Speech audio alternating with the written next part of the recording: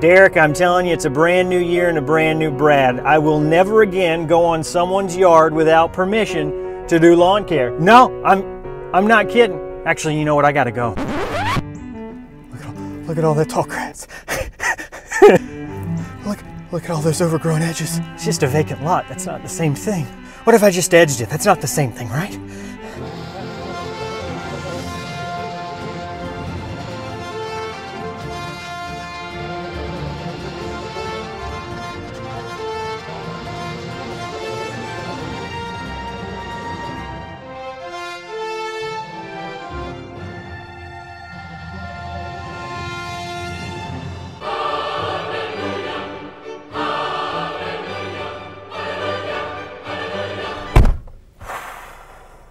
Well, there's always 2022.